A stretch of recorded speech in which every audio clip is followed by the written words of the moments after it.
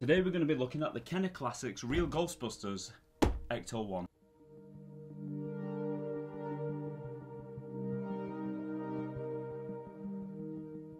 Now, as you saw in that opening video, I picked this up from my local toy shop, and as soon as I saw it, I got a hit of nostalgia, which is exactly what Hasbro are going for.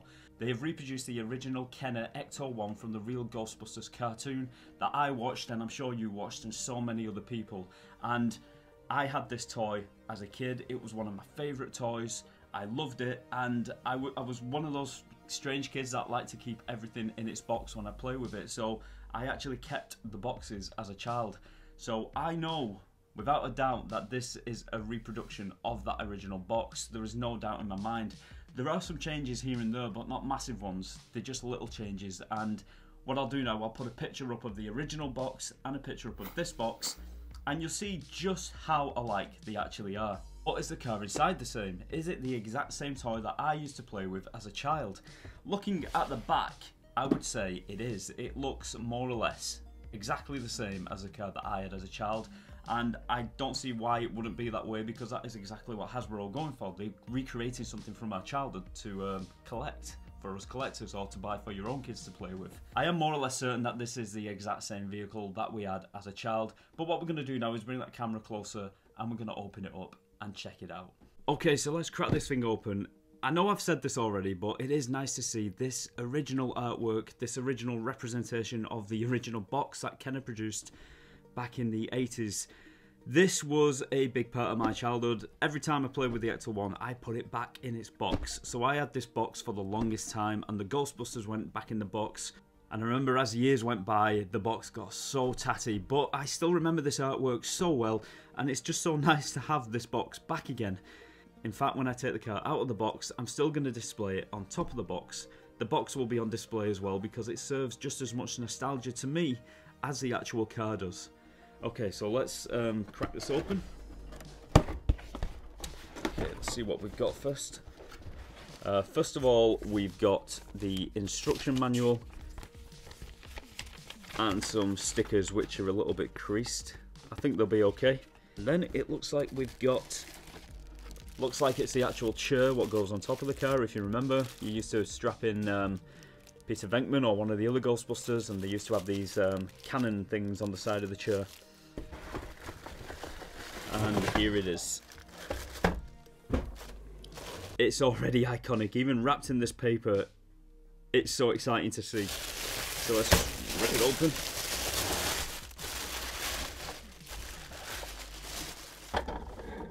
Yeah, there is, there's no doubting that that is more or less the same car that I had as a child. It is so good to see this car again.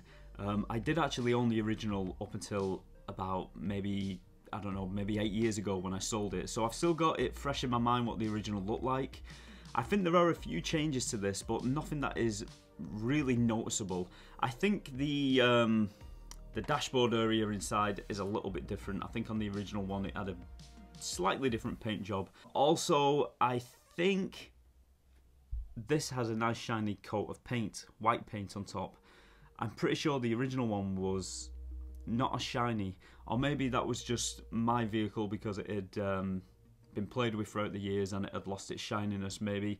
I know a lot of the Ecto ones now that you can pick up second hand, the original Ecto ones, the, the plastic seems stained like it's a yellow stain, like some plastic does turn like that over time. Uh, if you look at any Super Nintendo or NES, you'll be hard pressed to find one that is in good condition. What I mean by that is that hasn't that it hasn't turned yellow and that is exactly what most of the Ecto ones out there did. They turned a yellowish colour. This looks like it's got a like a shiny matte paint on top of it. Um, I may be wrong about that, but I don't think the other one did. I think it was just the actual base plastic that it was produced out of. Like I said, I may be wrong, I'm not 100% sure about that, but it does seem a lot more shinier than the original car. But it is the same car, I can tell just by looking at it, and this may sound daft just by holding it in my hands. I've got all the memories up there of playing with this as a kid and knowing exactly how the car feels. I know that sounds ridiculous, but that that is how I remember things. I remember how things feel. If I see a picture of something online of an old toy that I used to play with, I can still feel the textures in my mind. You know what, before we go any further with the review of the car, I think I'm going to actually add the stickers. Okay, so here are the stickers. We've got three of the uh, Golf symbol, we've got two Ecto 1 registration plates, and we've got the blue window for the for the back of the Ecto 1. So let's put them on now. You know, even though it was so long ago, I still have very vague memories of me sticking on these stickers myself. I remember my dad insisting that he stick them on, but I insisted that I must be the one to do it. And I did, and you know, I would end up sticking them slightly to the left, slightly to the right, maybe a little bit too far up, a bit too far down. They never were quite right, but it didn't matter because I'd done it. This was my toy. Um, hopefully, we'll do a little bit better today with it. But yeah, that is more or less exactly how I remember it now. We need to put the chair on yet. But yeah, that is exactly how I remember it. I must admit, that was quite nerve-wracking putting them stickers on because there were a few close calls though. Okay, so let's unwrap the chair. Oh, I almost forgot. You get the um, you get the orange ghost as well. Um, I think the original one wasn't as translucent as this one. This one is quite see-through. I don't know if you can make that out on the camera, but it is quite translucent.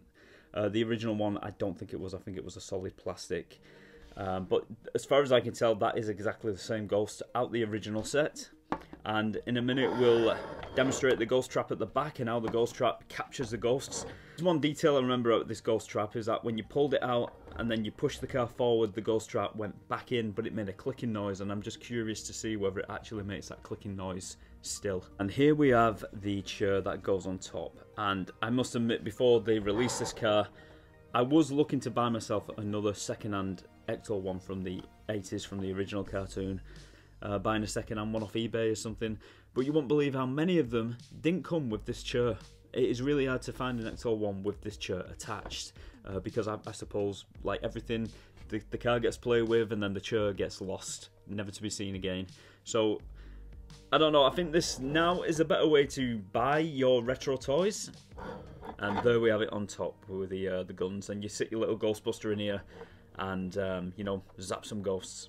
And before we have a look at the trap in the back, let's have a look at these doors. Mm, the original Ecto 1 doors opened, and so do these. There we go. And like I said before, if you were to try and buy an original Ecto 1 off eBay, you'd be hard pressed to find one with the doors attached. And if you were to find one with everything included, you're going to be paying a lot of money for it because it is a collectible. Let's get to the part I was looking forward to the most, and that is the ghost trap. Oh, I almost forgot. You have to. Um, I almost forgot.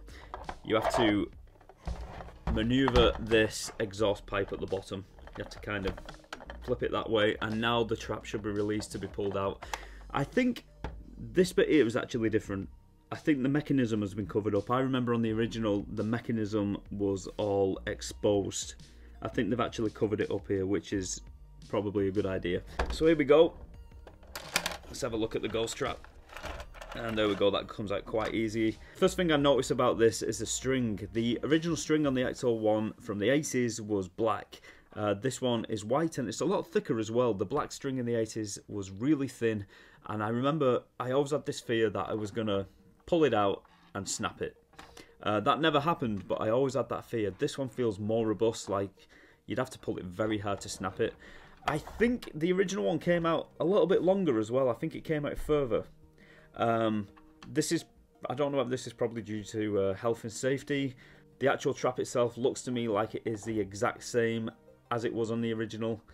So here's a moment we've all been waiting for, or at least I've been waiting for. We're going to catch a ghost, and we're going to see whether this Ecto 1 makes the same clicking noise as it did on the original Ecto 1. That is just something that I remember so well about the original car. Okay, so we've got the ghost trapped, and before we pull it into the car, we're going to have to remember to flick that switch, the exhaust pipe on the bottom of the Ecto 1, flip it back, and now it should pull it in. We're going to have to back the car up so we've got enough road. And here we go, the moment of truth. Listen for that clicking noise.